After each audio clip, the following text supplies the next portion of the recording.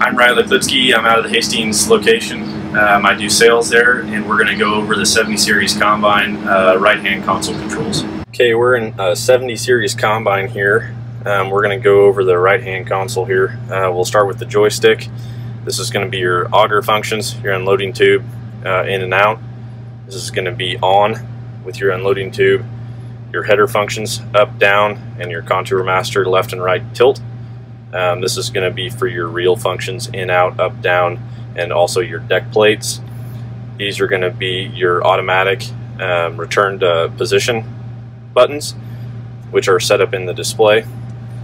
We'll move over to the console. This is going to be your separator engage, your header engage and reverse, your road mode uh, that locks out all your functions on your head, high idle, uh, wide open, idle, your parking brake. This combine's equipped with a ProDrive, so you're going to have your 1 and 2 and your auto button. Uh, this is going to be your home buttons since we're not working with the touch screen here. Uh, you can use your buttons at the top of the screen or you can use your buttons here to navigate through the screen. Uh, this one here is going to pull up a prompt. It's going to be your rotor clearance.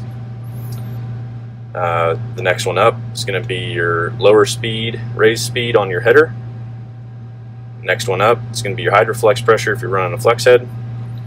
Going right here, you're going to have belt speed on your draper head. Going down, we're going to have rotor speed.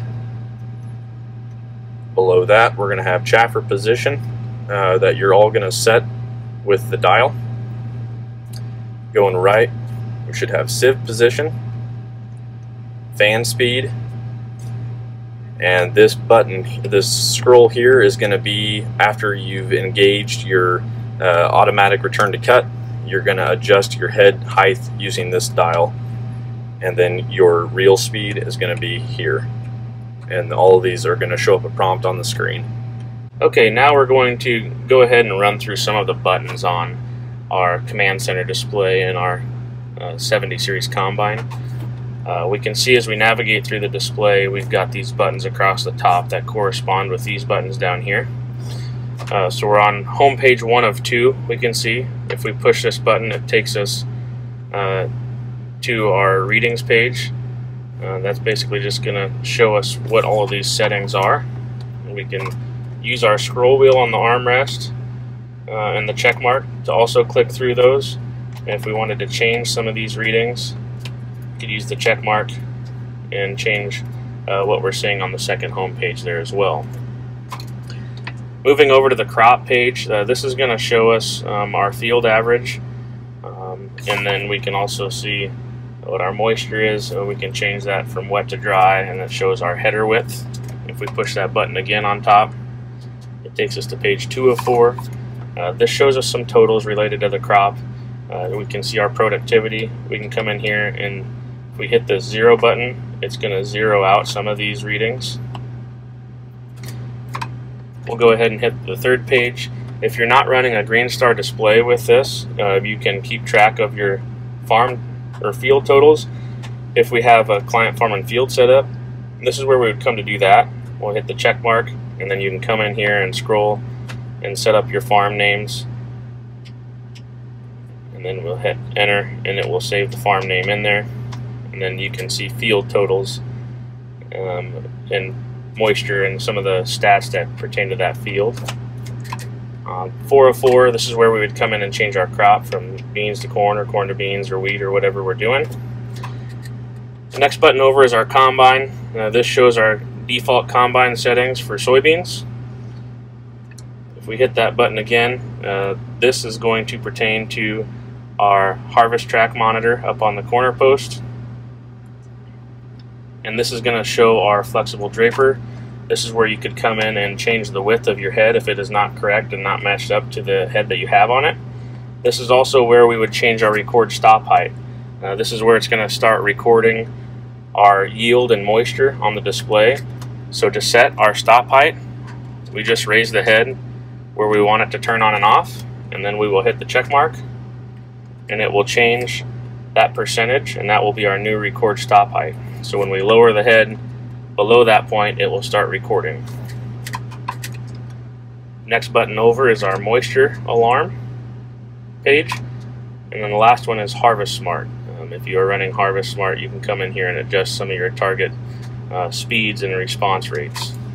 The next one over is going to be our book with the wrench diagnostics. We've got active alarms, our calibrations, got some diagnostic readings to go in and look at some sensors and voltages, and then we've got on page 404 our special tests.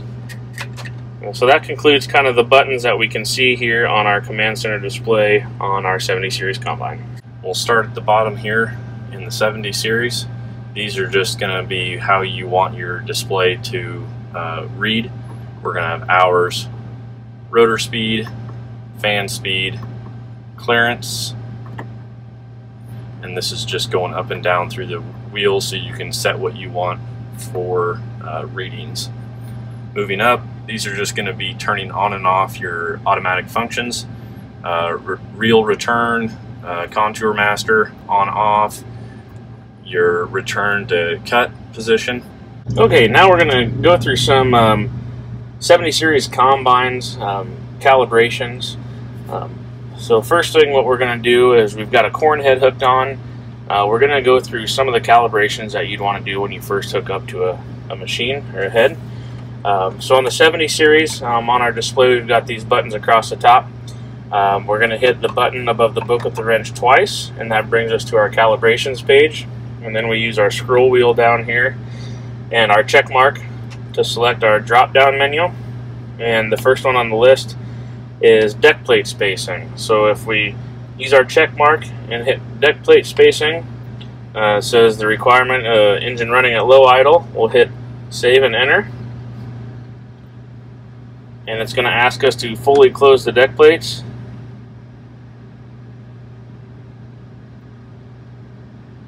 they are fully closed on the corn head so then I'll scroll over and hit the next button. It wants us to fully open the deck plates.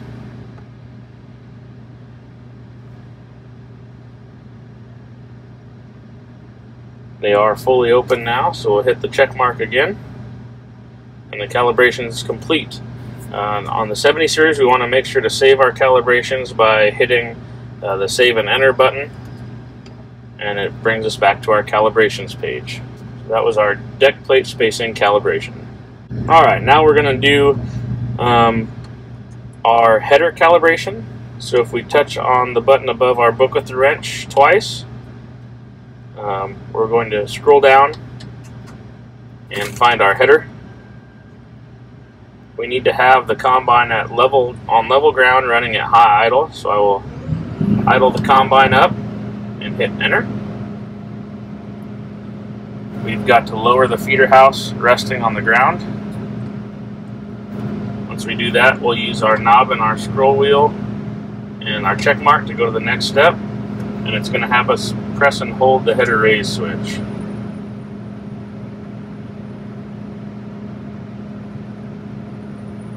That calibration is complete. So we'll hit the save and enter button there, and then it's going to take us right into the performance tuning calibration. Now it wants us to hold, press and hold the header lower switch.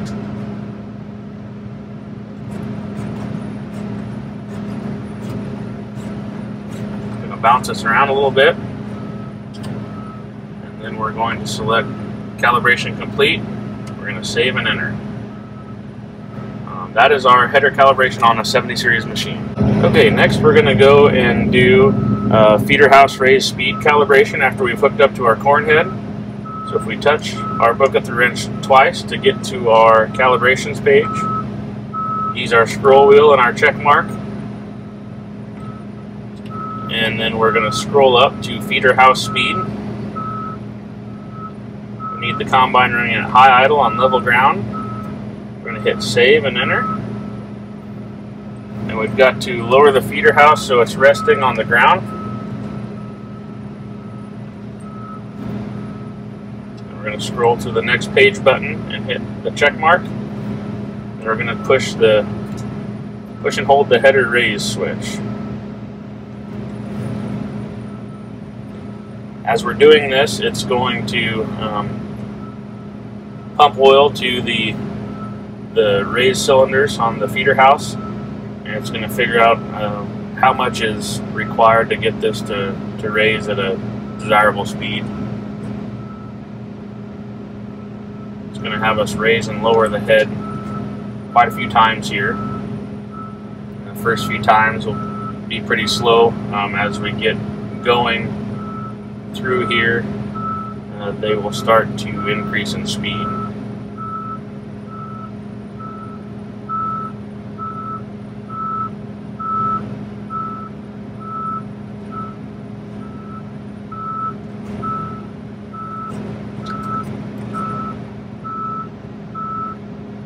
see it's getting a little bit faster between the steps. We're in step 12 of 21.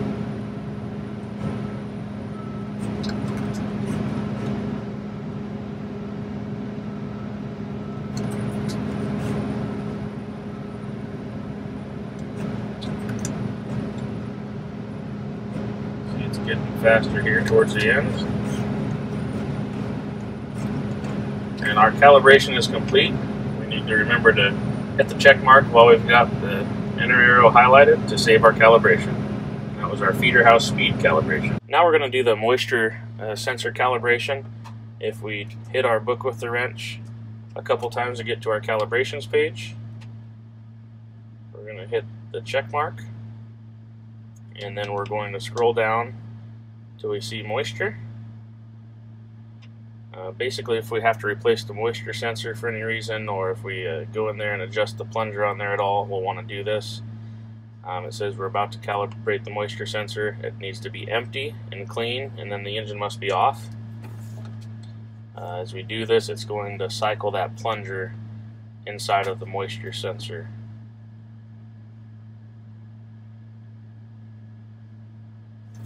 And if it cycles successfully, we're going to get the calibration complete. And that is how we calibrate the moisture sensor on a 70 series combine. The next calibration we're going to go over uh, for our 70 series machines is to um, calibrate our moisture. Um, so if we are um, reading on our combine that we are in uh, 15 moisture corn and we're going to the elevator and they tell us that our uh, corn is actually 17 and a half. Um, I'm going to show you where to go in and adjust that at here on our 70 series um, command center. So what we'll do is we'll hit the button above the combine uh, about four times and that brings us to our moisture page. Um, we can use the scroll wheel to scroll. If you want a a alarm on, you can turn that on by hitting the check mark and then you can turn on um, your maximum or minimum values that you want it to alarm you at. The sample rate, um, typically we'll do it at um, one once a minute um, just to save the life on that plunger and that moisture sensor. So right now we have a moisture correction in here of 1 point, a negative 1.3. So to adjust that, we just click on that box and change it. Um, so in my example of our combine was showing 15 moisture and the elevator told us we had 17 and a half. You would just uh, hit the check mark while you got this box highlighted and adjust it to 2.5 um, and it will correct our moisture up to a positive two and a half. Uh, so if we uh, have any issues with our moisture sensor we might want to go ahead and just put a fixed moisture in there so it will still calculate our yield and document everything correctly. So if we put a check mark in the fixed moisture, uh, we know this field that we're in is doing 17 and a half. We can just dial this fixed moisture reading into 17 and a half and it will just assume that all the grain coming through the machine is at 17 and a half moisture. Uh, this is a good tool if, like I said, for instance, your moisture sensor has stopped reading and you want to just keep going until uh, we can get a, a, tech out to help you in the morning or you don't want to stop to fix it till the morning. So that is how uh, we go in and adjust our moisture. Okay, so now we're going to go through uh, yield calibration on a 70 series uh, command center display. Uh, so first thing, we're going to go to our calibrations page. We're going to hit the button above our book with the wrench twice to get to our calibrations. And then we're going to use our scroll wheel and check mark to get to our drop down menu. We're going to scroll all the way to the bottom to where it says yield and we're going to hit the check mark. So when you might calibrate your yield is if your combine's um, showing you a yield that you know is off uh, or if you're just looking um, to have a more accurate yield reading. Uh, so we've got three buttons across the bottom here. This button will take us back to the previous screen. If we have a, a load that has already been collected but we haven't gone in and applied it uh, to our calibration, uh, we can do that as well. Uh, if we go into that screen, if we hit this next arrow, it's going to start a new calibration. So we've got calibration mode standard or low flow. Um, how we might in high yielding corn, if you needed to do a low flow calibration, you would just adjust your speed back uh, to have uh, a lower flow coming through the machine. So we'll hit the next page button. At this point, we would start harvesting. Uh, we can see this bar graph over here. It's going to uh, show as we're collecting grain. It's going to come through there, and then it's going to show our harvested weight. Now we have to have 3,000 pounds of harvested weight before we can continue and finish our yield calibration. It will not let you finish until then, and it'll tell you it failed. So once we have a yield calibration in there, we would be able to go to our loads page and apply those calibrations to um, our machine. Um, that is how we go in and, and perform a yield calibration on a 70 series combine. The next calibration we're going to go through on our 70 series command arm display is going to be feeder house tilt. So again, we're going to go and push the button over our book with the wrench. We're going to go to calibrations, hit our drop down, and we've already got feeder house tilt on there.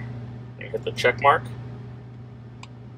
It says it wants the engine running at low idle. We'll highlight our arrow and then hit our check mark on our armrest. And it wants us to tilt the feeder house all the way to the left. Once we've done that, we'll use our scroll wheel and check mark to go to the next step, where we'll tilt the feeder house all the way to the right.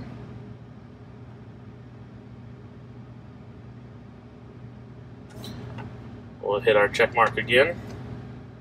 It wants us to center the feeder house. There's a little indicator uh, right in front of the steering wheel that helps to kind of center the feeder house up. Once you get it to where you feel is center, hit the check mark again and it will say calibration complete. And we'll want to make sure we save that calibration. Uh, when it kicks us back to our calibrations page, we know that uh, we have successfully saved the calibration and we are good to go.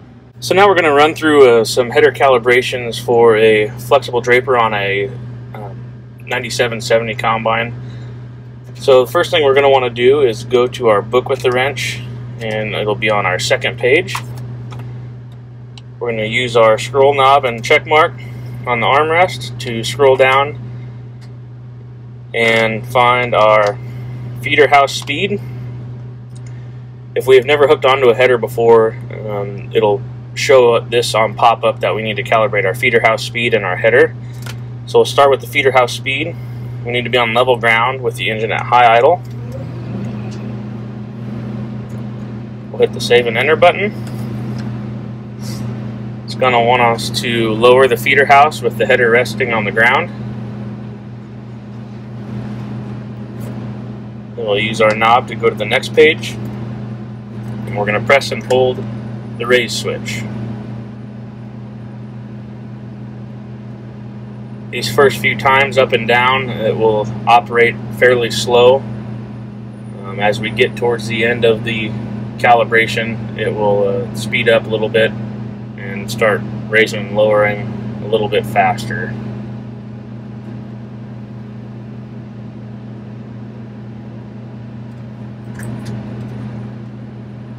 Switch to the header lower, so we're going to hold the lower switch.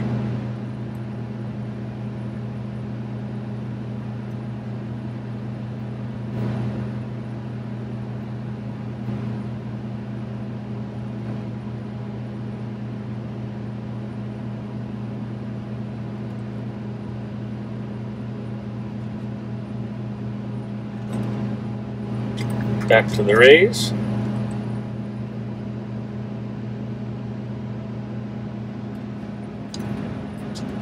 lower again, about halfway home here.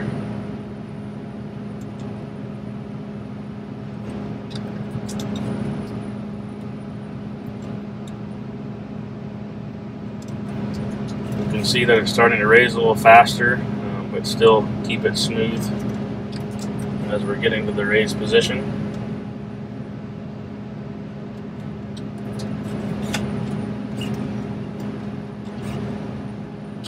That calibration is complete. So we'll use our scroll knob and make sure to hit the save and enter button and don't hit the abort, otherwise we'll have to do it over again.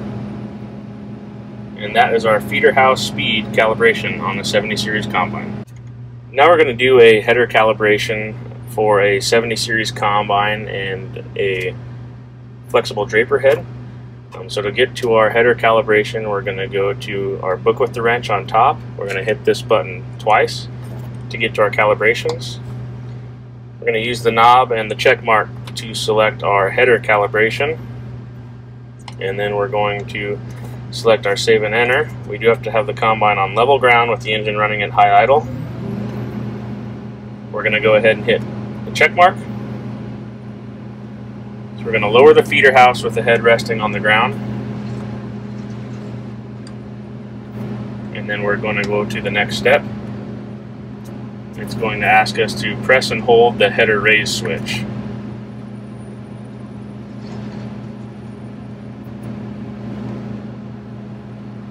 We've got the flex mode calibrated, so now we need to navigate to our next page button and hit the check mark, and then save that calibration. And then it's going to take us into the performance tuning calibration so we'll use our scroll wheel and our check mark to hit the next page, and it's going to ask us to hold the header lower switch.